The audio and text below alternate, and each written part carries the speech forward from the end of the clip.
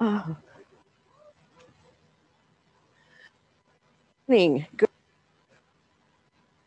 working point, and she said, It's 10 o'clock. It's time to unleash you. I'm unleashed. Mike can't. Oh, I don't know. You better take a look. We, ha- we have technical difficulties here.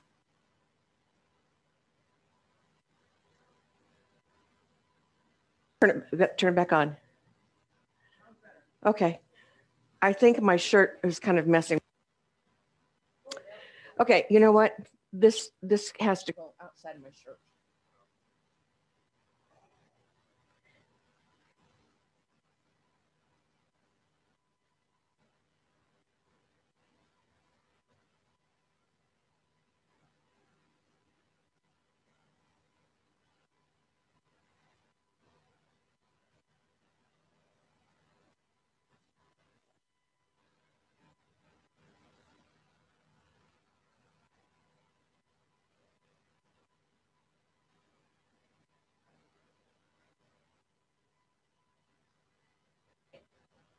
Mike is on. All right. All right. Okay. Rise up and shine. Give God the glory, glory. Today is a brand new day, a brand new baby day that we get to do whatever we want to do with it. So let's make it fabulous and fun. Those are my two big criterias. Fun even comes before fabulous.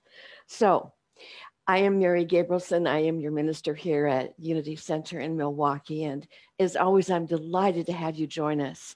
And it's wonderful to have some people in the pews today. We are open for business. Um, we are allowed to have 25% of our seating capacity. So that is 40 live bodies. and the seats are marked out um, and appropriately spaced. Uh, we do take your temperature and ask that you wear your mask. And I'm not wearing my mask because, like some other people um, that are visually depend visually on seeing the movement of mouth to get the words, um, I like to make it as possible as as convenient as possible for everybody to know what's going on. Boy, was that a long drawn out thing to just say, I don't have my mask on today. At least not right now I'm doing this. Okay, onwards and upwards. Let's be about our spiritual business as we begin by speaking our statement of faith. There's only one presence and one power in the universe and in my life God, the good omnipotence. The affirmation for our center. Thank you, God, that we have come to this place to release the past, celebrate the present, and embrace the future in love, peace, harmony, and prosperity. And our prayer for racial healing. We are here because we care. We are here because you care. We are here because I care. Let me be the peace and act the peace. Let us move our hearts to the highest and best of us and focus on racial healing for self, others, and the world in unity and through the name of Christ. Amen. This is the time in our celebration when we have prayers to uplift those who have made prayer requests. So, due to the nature of confidentiality, we don't reveal anyone's name, even the person who has made the request or the person the request is for. But you may hear your prayer request as we begin. So I ask you to join me in an attitude of prayer. And as we take a deep breath in, we breathe in that perfect life of God. And we allow God life to fill us completely. It always does, but as we breathe, we become more aware of it. And we wrap our world in prayer, knowing that God is greater than whatever we face greater than illness, greater than loss. God is greater than injustice and confusion. God is an ever flowing stream of love and wisdom pouring through each of us to anoint our earth with healing, harmony, and wholeness. We have a prayer request for justice. God is in charge. We rely on God's law of good to bring order and justice into all areas of our lives. A prayer for healing. God is the life energy in every breath you breathe. As you breathe, this life energy continually fills and renews you. Prayers for freedom from limiting habits. Through the power of the Christ within you, you are strong, free, and victorious. You overcome all obstacles and achieve self mastery. Prayer for employment. The way is now open for you to use your God given talents and abilities to expand and enrich your life and the lives of others. And I would like to continue in that affirmation for employment, knowing that the perfect right opportunity for your creative expression is searching for you right now. It is a place where you will be well appreciated and compensated for your gifts. We say, Thank you, God. For relationships, trust everything in your life to the tender care of God, knowing that God's will for you is true happiness, soul unfoldment, and all things beautiful. And our prayer for peace of mind and heart, aligning my mind and heart with the mind and heart of God. I center myself in pure being. In a state of spiritual realization, I remember I can never be broken, limited, or unworthy. Courageously, I rise into my true spiritual nature in this moment of healing I heal the whole of me as I accept that I am brave, I am bright, and I am beautiful. As I heal in mind, body, and spirit, I support healing in my family, my community, the earth, and the world. Centered in pure being, I am a healing presence. And we know that each of us is that healing presence that presence of unworried, uncomplicated peace. We are the ones that are not anxious in any situation, for we know the truth about God and God's presence. And so let each of us lift up those in our spiritual circles, those in our circles of influence, knowing that peace abides within each one. We call it forth and we say, Thank you, God. And so it is. Amen. Today, I would like to share with you as we recognize another great person in Black history, Gwendolyn Brooks. Gwendolyn Brooks is actually a very contemporary person. She was born in 1917, but she made her transition in 2000. She was the first African American to receive a Pulitzer Prize for poetry and is best known for her intense poetic portraits of urban African Americans. Her parents, her mom was a school teacher, her dad um, was a janitor, and he was a janitor because he did not have the funds to complete medical school his dream had always been to be a doctor. So Gwendolyn had some heavy um, wishes um, projected on her as far as education, but she did a great job. She grew up in Chicago, Illinois, and um, was actually born in Topeka, Kansas, but grew up in Chicago, and did some incredible, incredible work. Um, she wrote poetry even as a child, and she published her first poem when she was 13 years old called Eventide, and it was published in an American Childhood magazine. She wrote prolifically and began submitting her work on a regular basis, published regularly while she was still attending college. She was highly influential and one of the most widely read poets of the 20th century. So we honor her and we are grateful for her contributions. And we say thank you to her, Gwendolyn. I have asked uh, Jen to read the daily word today.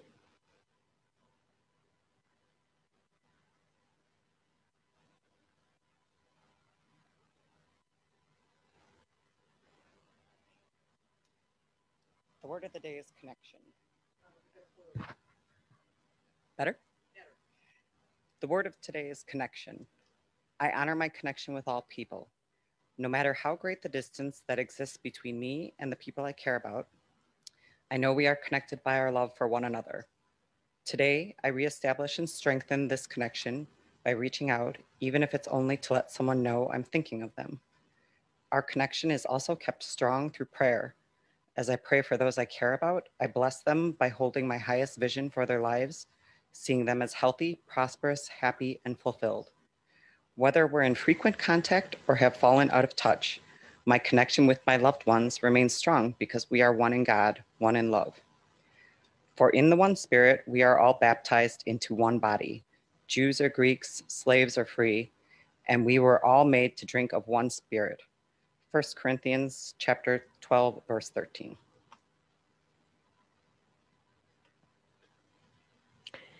Let's enjoy a wonderful gift of music from Katie Gorton.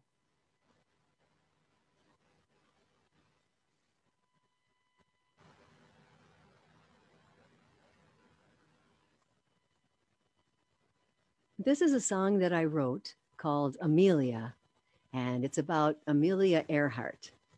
She was a woman of great tenacity who inspired us to look up and follow our dreams. Sometimes I imagine that she's beside me.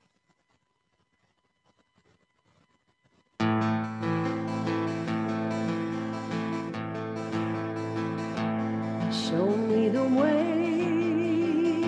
around the world. Hold me, never let go. Take me away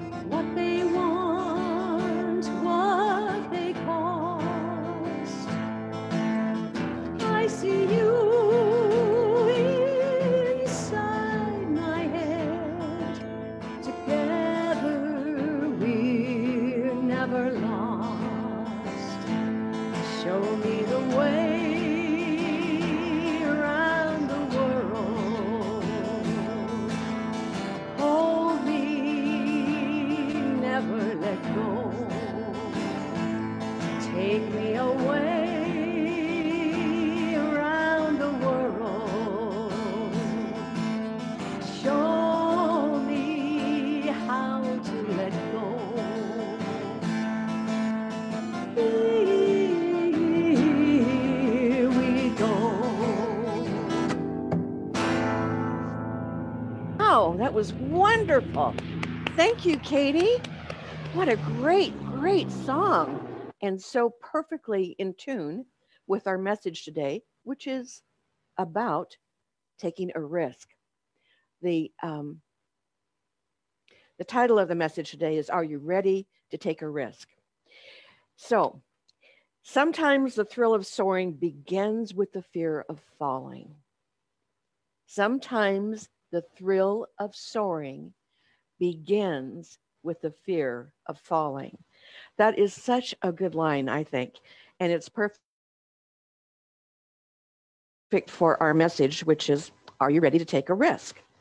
So we're concluding our, our study, our exploration of Ryan Holiday's book, From Impediment to Empowerment. Um, actually, that's not the title of his book. His title of his book is The Obstacle is the Way rather than the obstacle is in the way, the way that we usually look at it. So it's about recognizing that the obstacle is that catalytic force that pulls us forward to come into greater congruence with what our soul is calling us to do and be. Um, it's kind of a big idea to wrap your head around initially. But you remember as we started this series, I was talking to you about whatever is your big thing, whatever the big obstacle is, whatever the struggle is, whatever the challenge is, I've invited you to bring that with you in your awareness each Sunday as we come together so we could work on it and solve them together. And I also invited you to use Eric Butterworth's terminology, which was instead of calling it an obstacle, calling it a project. And not just any project, but a big, delightful project. And I have to say, when I even wrote those words, when I was putting my lesson together, I found the corners of my mouth kind of going up in a little smile because a project has steps. There are pieces, things that you can do little by little to accomplish and move through it. And so I've been using that idea as the project right along. Ryan's whole premise is that there is no obstacle too great to overcome. And so, in my prayer time, as I've been thinking about you and as I've been working with this material myself, my prayer is that together we are beginning to perceive our obstacles in a better way, in a different way. And you know, I, I said, bring your obstacle with you. We'll work on them together. My prayer has been that through this journey, we see things differently, we perceive things differently. And I've held you in my prayers thinking that you might have taken one or two or even even maybe three inspired steps toward moving through your great, big, delightful project, and hoping that you'll continue to use the power of your will and stay focused on the prize, stay focused on the outcome that you want. So, my prayer is that you practice that will that Peter used when he stepped out of the boat. You remember the story? Three of the di- disciples are in a small fishing boat the uh, wind comes up, the, the seas come up, and they start to get really quite alarmed for their safety. And they look out and they see Jesus walking on the water. And Jesus says, Come to me, walk to me. This is no small invitation, folks. This is a big deal. And Peter was the only one who had the courage to step out of the boat and to start walking. And start walking, he did. He took, I don't know how many steps, I know not more than a dozen, but he started walking toward our master teacher because he was focused on Jesus. He was focused on where he wanted to go. It wasn't until the wind and the waves began to take his focus away that he looked down and then began to sink. And you know, Jesus walked over to him, held out his hand, and lifted him up. So that's kind of the will that we want to have and the courage that we want to have to risk moving forward. And moving forward is not always easy. Sometimes I think, why are we so reluctant? Because if we really believed, we really believed that God is everywhere present, which we say practically every day, then why would we be so so afraid? What are some of the reasons that we're not willing to take a risk? Fear of failure. Exactly. And the consequences if the failure is public. Yeah, that's a big one. Um, what are some other ones? Oh, ooh, fear of success. Yes fear of the unknown. Absolutely. All of those things are so, so true for us. I found a reading that I liked really well, and it's from Jim McMahon, and he says, risk taking is inherently failure prone. If not, it would be called sure thing taking. So we look at some of those things that seem so scary, but yet there is within us, really and truly, this is true. It may not feel like it sometimes, but the reality is, it is true that there is something in us that is stronger, stronger and greater than anything in the outer. So, working on this this lesson, I was thinking about some of the big risks that I've taken in my life, and um, you know, I have been kind of chided at times. Um, more guts than good sense has been the phrase often applied to me. So, one of my big risks on a physical level was learning to skydive. And if anybody could do anything wrong, I did three times. and they actually said, maybe you should take up bowling. And I just said, oh, you're kidding. Never. But anyway, um, at the time I was skydiving or learning to skydive, I was also a soccer mom and and I belonged to a mom's league besides my my all my kids played. Um, so so I was, you know, pretty physically fit. I just wasn't all that coordinated. And um, it took a while for me to catch on. But once they said, we don't care about your form getting out of the plane. See, that was my whole thing about looking good. I wanted to look good getting out of the plane. I wanted to do it right. They said, We don't care what you look like getting out of the plane. We just care that you get into the proper stabilization thing, which is arch and you arch your back and you, you know, yeah. And that's all we care about. Well, it changed my whole life. You know, it was just wonderful. But I was, I, I know I've shared with you before about one of my minister colleagues, and I, I love her because I've known her since she was this high and pre YOU and then going through YOU, Youth of Unity, and then becoming one of the youngest ministers ever to graduate and be ordained from the school, which she did at 23. Um, incredible being of light. She she took a position right out of school as an associate minister, and it was a horrible situation. And we've talked about that. She got the courage to just say, enough. I'm going to go out and do my own thing. So she did. She started to work which was a great thing. And she was doing pretty good collecting people and coming people coming in. And they were renting a space um, in a big shopping center um, grosvenor center if any of you are familiar with san diego in its heyday.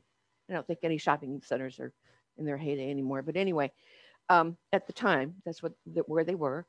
And it got to the point where they had to keep finding a bigger space still within the center but bigger spaces and it became pretty expensive. So she was convinced that it was time to buy or build a space as a permanent home.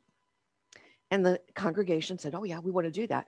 So they got involved with a capital campaign, which is what is called in nonprofits. And they had consultants that came in and worked with them. And consultants said to Wendy early on, So here's the thing that you have to do you have to personally sit down face to face with the largest most financially secure people in your in your congregation. I mean largest financially secure not largest people. Never mind. Anyway so um she said i i can't do that. She said that, I, I i can't do this well that's the only way to get it started. You have to do that. You have to you have to secure um, a leadership gift. You have to secure that kind of a thing to get started. That's the only way people are going to give. And she was just beside herself and listening to her talk about it, I have to laugh because I can feel myself in it. She she said, and what I did, but she said it. She said, I can't sell anything. She said, from brownies on through scouts, every time it was time to come around to sell Girl Scout cookies, I dropped out. She said, the thought of going to a door and having someone say, no, they didn't want my cookies was the most appalling thing that could ever happen to me. So for her to have to ask this couple who had a lot of money um, to make a leadership gift was like worse than splinters under the fingernails. I mean, it was just the worst thing ever. So she did. She made an appointment. They were going to go out to lunch. The couple insisted on treating Wendy and her husband, John, and they went to the most um, expensive place in San Diego, which made her even more nervous. And she said her body completely shut down, except for the perspiration that just manufactured 10 times over. And I thought, yeah, I could see myself like that and so they're having a delightful uh, luncheon and and it's very casual conversation. And she's thinking how do i bring this up? Where do i how, how am i going to say this? What, where how do i how do i interject this? But somehow she did. And the answer was no. And judd grosvenor said to her one day i am not a hot prospect i'm a cool suspect. But he followed it up with saying I have no doubt that you absolutely will raise the money and build that church. And she said she bit her tongue to keep from saying, You're damn right, I will. But after that, was like, okay, so how do you go back to casual conversation after that big thing? Somehow they got through the day and it was all well and good, but they did find another way. And they did manage to to buy the building. Well, it started out with renting it, but they've since paid for it completely. Um, a, a building and um, and they're they're doing a fabulous job.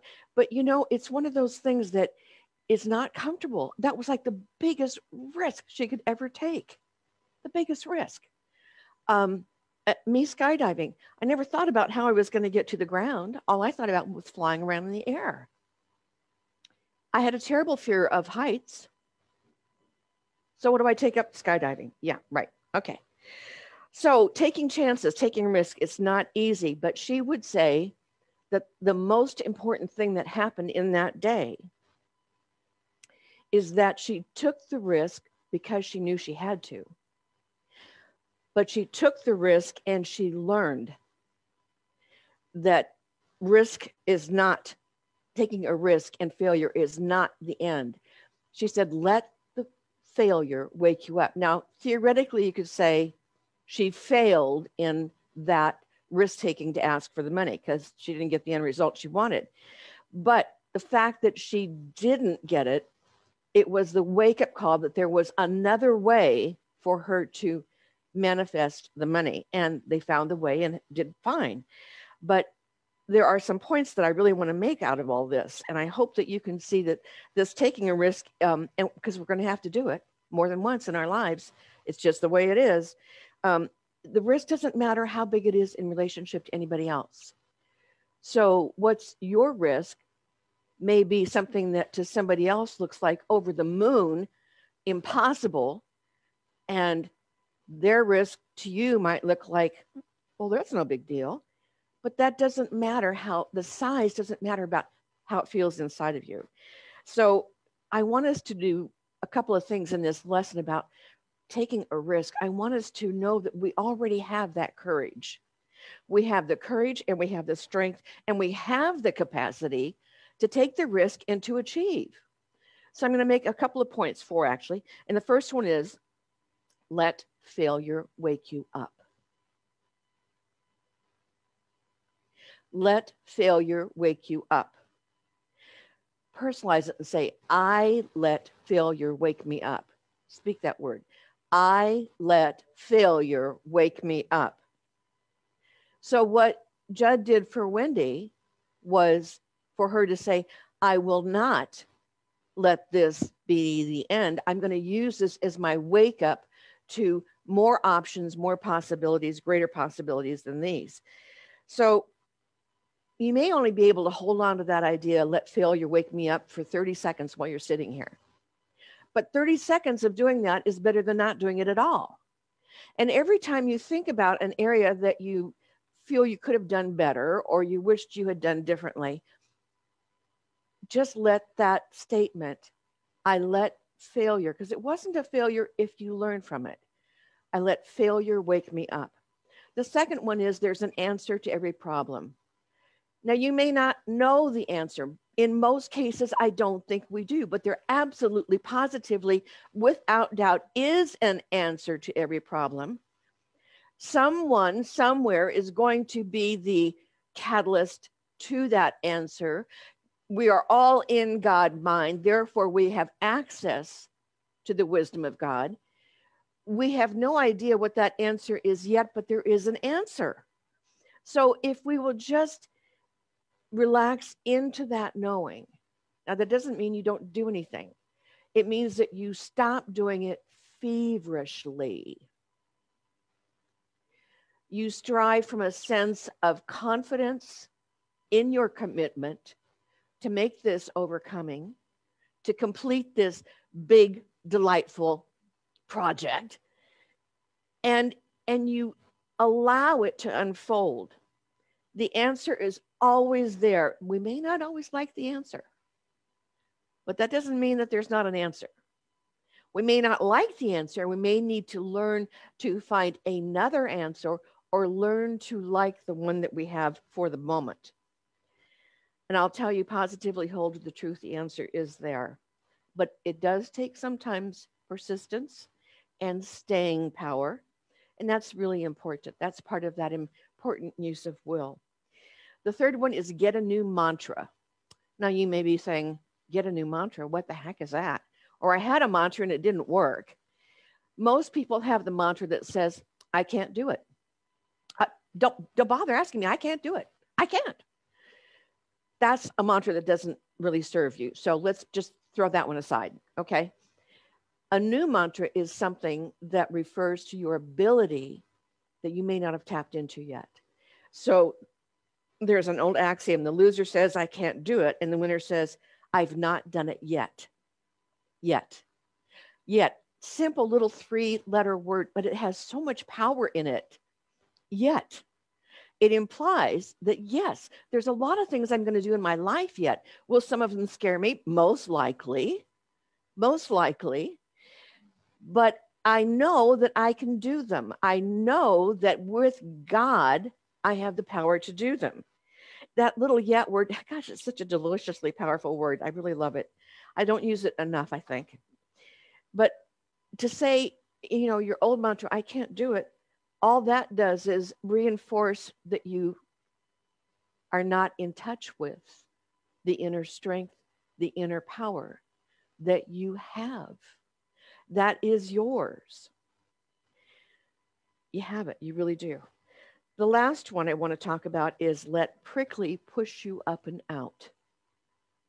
Let prickly push you up and out. All right, say that. Let prickly push you up and out. So I love nature. And at our, our home in Minnesota, uh, we're on a, well, two lakes actually that are divided by a bridge that runs through them. Anyways, um, there are nesting pairs of eagles on each in each lake. And did you know that eagles mate for life? They do. And they are wonderful. They co parent in the most incredible way. Um, eagles are extremely smart and big and strong. And so when the mother and father begin to build the nest, it's a huge nest. I mean, you and I could curl up in it. It it's that big. And it starts out with with branches, not twigs, branches. And they're they're artfully curved pretty much into a circle of the nest.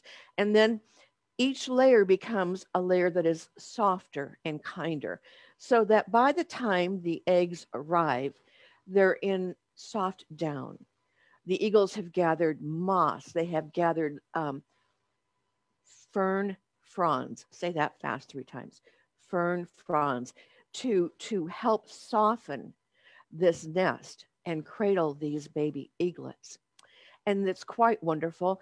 The, um, the, the parents take turns going out to, to get food to back, bring back for the babies and um, and they they spell each other. Um, even after the eagle babies have been fed, the um, parents will settle down and both be quiet on the nest, not together, but one will be watching the nest and the other is in the nest. So the eggs are always kept warm. The parents are always there. They're they're all through the eaglets growing and growing into fledglings.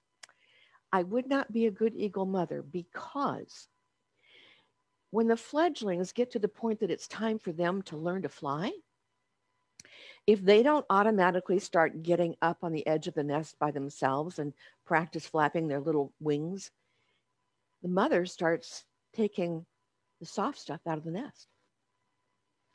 She stops making it such a cozy, nice home to be in. And little by little, it starts getting very prickly. It gets down to those canes, and some of them have thorns, and some of them are just prickly, anyways.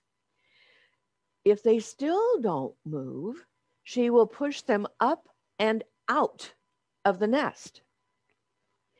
Now, their nests are extremely high up. So it's not like, you know, they're in a tree here where they're going to fall maybe 20 feet. We're talking, they're really high up, and we use binoculars to watch them. Oh, but there are eagle cams on TV now. If you if you watch Discovery, there there are um, programs where you have the, the eagle cam, and it's really cool to watch them. Anyways, anyways, she will push them out of the nest and they will have to learn to fly. I had a friend in Colorado who told me that the eagles there will put the baby on their wings and take the baby out to soar and then pull their wings in and let the baby learn. I don't know. I've never seen that. I've never seen it, but I trust that it's true because she told me and she's a responsible person. But the but the point is that her, she is imprinted with a knowledge of what she has to do as the mother. And the mother is her responsibility was have the eggs, care for the babies, feed the babies, help them grow, and her responsibility is to get them to fledge, get them up and out of the nest. And she does it as gently as she can. But if they don't go, she learns how to make them go. And I think that's pretty much true for us, don't you? Um, have you ever noticed that there's kind of a, a oh, I don't know, you could call it a conspiracy. Oh, that word. Yeah, but this is a divine conspiracy. And it goes something like this We are living our lives and we're pretty comfortable and things are going along okay. And somehow we're making ends meet and we're paying our bills and we're doing what we need to. And there's even enough to eat out now and then or do, do something fun. And someday it'll be movies again. Uh, um, but anyway, we're doing okay. But then without any really advanced notice, we start feeling a little uncomfortable. And we look around us and we go, well, there's not a darn thing to be uncomfortable about. I've got everything that I need right here. I'm doing fine. What's going on here? It is our soul that's telling us it's time to grow again. Now, if we ignore that, if we ignore that discomfort, and we have nice names that we say, spiritually, we'll say, well, that's divine discontent. Doesn't that sound sweet? Well, it is sweet if you pay attention to it. But then if you don't pay attention to it, you get the opportunity to experience the cosmic two by four upside of the head.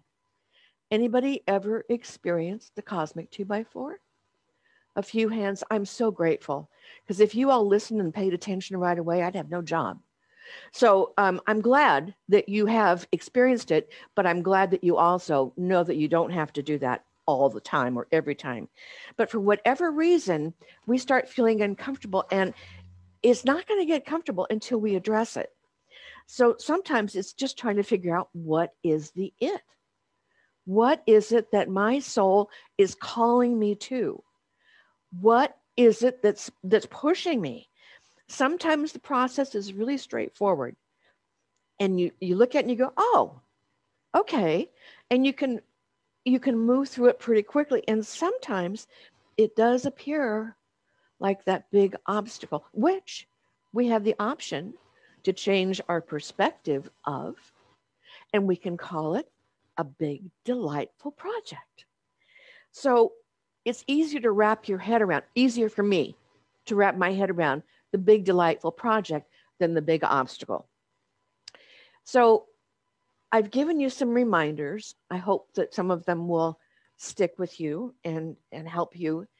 And I'm going to ask you the big question What is it in your life that is the big risk that you've been putting off? Has it been to make that phone call? You know which one I'm talking about. Has it been to end an abusive relationship? Has it been to recognize that the work you're doing does not feed your soul? You may need to make a career change. Has it been to seek therapy to work on that thing that has been working on you your whole life and you've allowed to continue working on you and to finally face it and deal with it? I don't know. I don't know what the big risk is in your life. Maybe it's having that conversation with a loved one. I don't know what the risky thing is in your life, but I can tell you this. This I do know for sure. If you're willing to take that risk and step off what appears to be a cliff, either the, the ground will rise up to meet you and support you, or you will develop wings and fly. Namaste.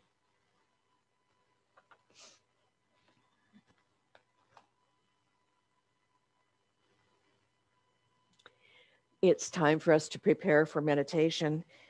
And so I'm going to ask you to get comfortable. You can wiggle a little bit. Maybe you need to get up and move. Maybe you need to get a drink of water. Do whatever you need to do to get comfortable in the moment. And then we're going to settle in.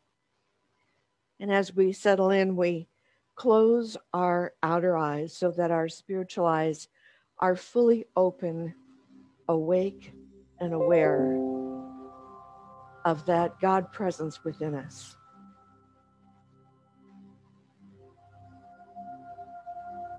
We are people who need to love because love is the soul's life. Love is simply creation's greatest joy.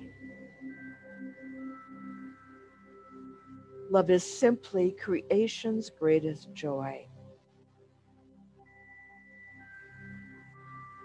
Can we think of what life would be like without expressing love?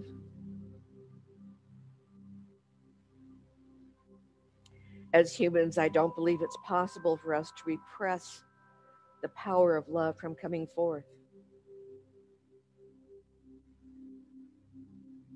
Most often, we associate love with something we receive from another person. As a child, it may have been from our, our parents or caregivers. We may associate love with romantic relationship.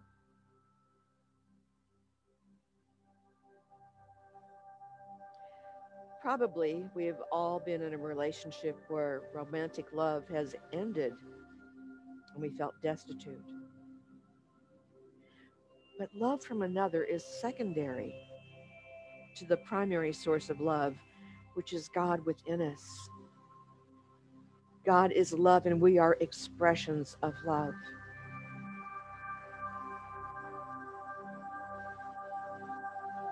Think about love. It comes from our inner self. It is an inexhaustible supply. We can love our friends and our family. We can have romantic partners. We can love nature and animals and art and poetry, music, singing, volunteering, or just watching the ocean.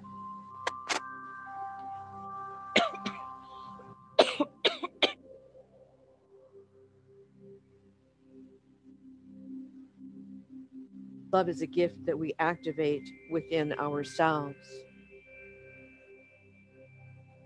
When we give love, we actually receive love in that very moment because to love means we are expressing it. And when we express it, we feel it. If we want more love in our lives, the spiritual prescription is to love more. You may not like me, but that doesn't mean I cannot love you. And how great is that?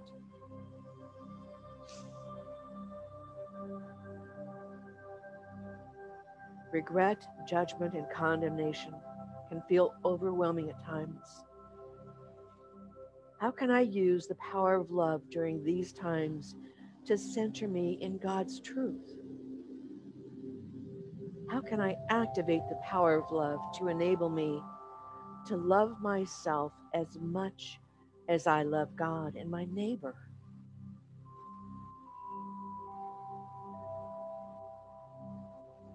As a reminder of that inward versus outward focus during challenging times, I've created an affirmation that may sound familiar, but with a twist.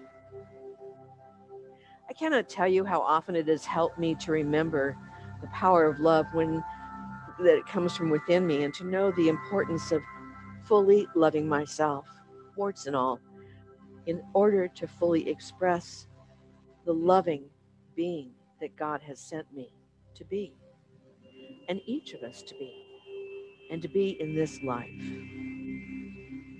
And so I vow to love myself for better or worse, for richer or poorer, in sickness and in health from this day forward. We have to love ourselves to truly love everyone else. And the power of love is enormous. But it is up to us to put it into expression. I send you my love. Rest in the silence.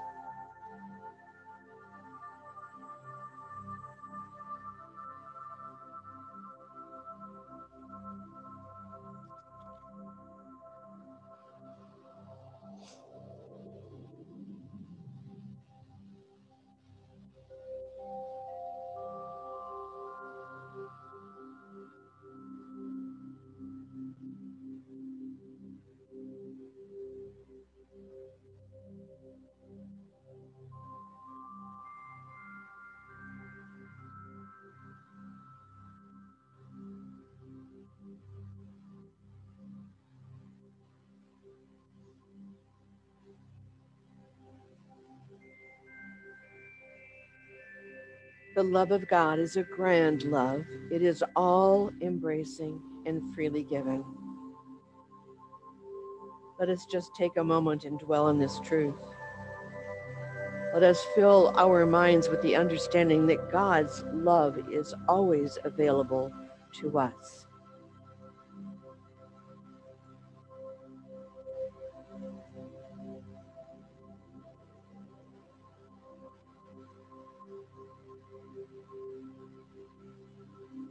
Gracious God, loving Creator.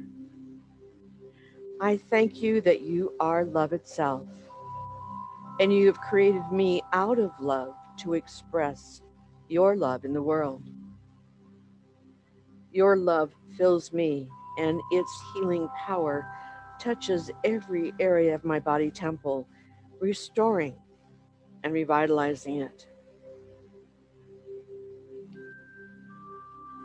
In this moment, I open up my mind to you so that my consciousness may become activated, saturated with the beauty of your love that forgives all, harmonizes all, and blesses me to experience oneness with you.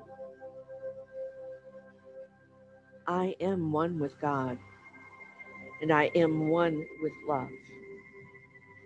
I am love in expression. And so it is. And so we let it be. Amen.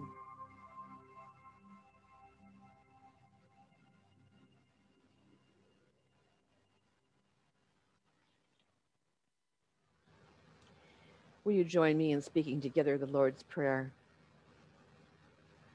Our Father, which art in heaven, hallowed be thy name. Thy kingdom come, thy will be done, on earth as it is in heaven. Give us this day our daily bread, and forgive us our debts as we forgive our debtors. And leave us not in temptation, but deliver us from error. For thine is the kingdom, and the power, and the glory forever. Amen. This is the time in our celebration when we accept our tithes and offerings. And while we're not passing a basket, if you'll just take the gift that you wish to share and hold it in your hands, we'll bless them together. There is no lack or limitation. Freely I give, and freely I receive from God's abundance. I am blessed as I give, and unity is blessed in receiving. Thank you, God. The basket is on the at the doorway on your way out, and the instructions for mailing your gift are up on the screen right now.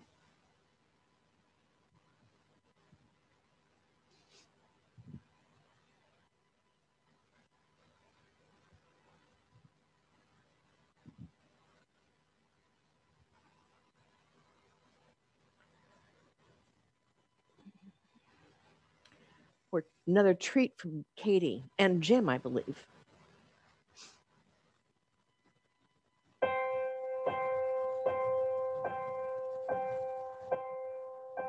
Some say love, it is a river that drowns the tender reed. Some say love, it is a razor that leaves your soul to bleed. Some say love, it is a hunger, endless aching. I say love, it is a flower, its only seed. It's the heart afraid of breaking that never learns to dance. It's the dream afraid of waking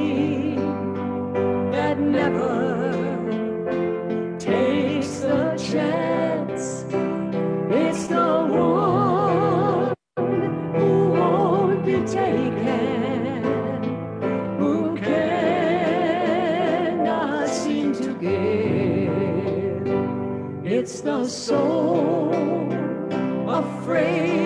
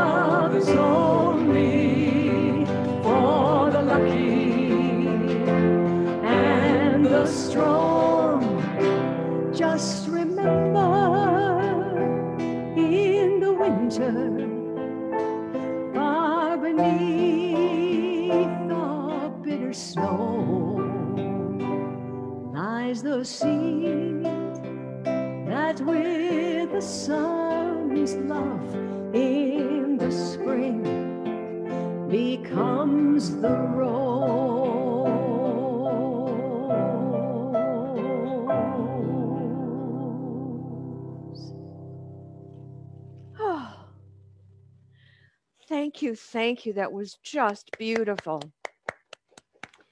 The first time Katie ever sang uh, for me, I mean, since I came here, was um, she sang The Rose. And, um, and, and I thought it was exquisite. But the extra dimension of, um, of Jim singing with her, I thought was quite, quite lovely. So, announcements today. I have to be honest and tell you that the month got away from me, February, and I should have been announcing this a whole lot sooner. But What is Unity is a live class that will begin Tuesday night, this Tuesday, March the 2nd, 6 p.m. in the fireside room. We're also going to be putting it on Zoom. Now, it is a required class for people who plan to become new members. And I want you to hear this there is no requirement for membership in Unity. But this is your opportunity to find out more about what we teach. It's your opportunity to ask questions. And that's one of the most important things for me um, in finding unity is that every church I ever went to, and I believe me, I was a seeker and I went to them all, was that you were never given the chance to ask a question. It was if you just have to have faith. You just take that on faith. But but wait, you know, but wait. No, there was never an opportunity to ask questions. And we don't say leave your brain at the door. We say bring your intelligence in, ask questions. If something doesn't resonate with you, just put it aside. You'll either grow into it or not, and it doesn't matter. What matters is that you find the truth of your being, and that is that God is within you all the time, all the time. So there is no charge for the class. I do need to know how many people are going to attend. If you're planning to attend on Zoom, you need to call the office and leave your name and address so we can send you the course materials because there are handouts that you get. So um, again, that begins this coming Tuesday night. This is the information. I want to leave it up on the screen uh, for a couple of minutes so you can take a look at it. Um, the easiest way to get into Zoom, I have found since I'm not techie, is to just put Zoom in my search bar. Is that right? Search bar. And it'll come up and it'll say join a meeting. Um, and that's what you want to hit is join a meeting. Then it'll ask for the meeting ID. And the meeting ID is the 954 number that begins. There's three, three groups 954 0078 5222. And the password is a weird password, but that's the way they are. Six lowercase FMU, number four, small case U. Um, and that's at six o'clock on Tuesday nights. So we will begin with the, the um, a short introductory film, Charles Fillmore, American Mystic. Because we're going to start with that film, that part won't be on Zoom, will it? We, we, we're not sure. Anyway, it's my prayer that you get to see it. And if you don't, well, you'll see it another time but then we'll begin our, our class. So looking forward to seeing you either here in the fireside room or live stream. And you can watch anytime after that. Okay. Um, our book study is winding down. I think this might be our last week. Kev, do you think we have one more week after this? We have, we have two more weeks, this week and next week, to finish The Art of Living. And then we begin our new book, which is entitled Caste, And it's by um, Isabel Wilkerson, and it's a it's a going to be a fabulous book for us to study together. So um, I look forward to you joining the book study. That is at one time. That's on Thursday mornings, 9:15 to 10:45.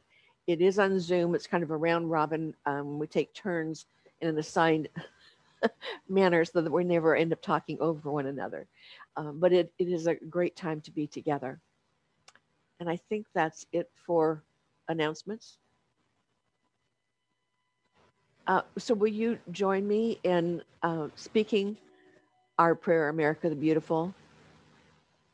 Oh, beautiful, compassionate shores where dreams and hope are born, where kindness and civility can weather any storm.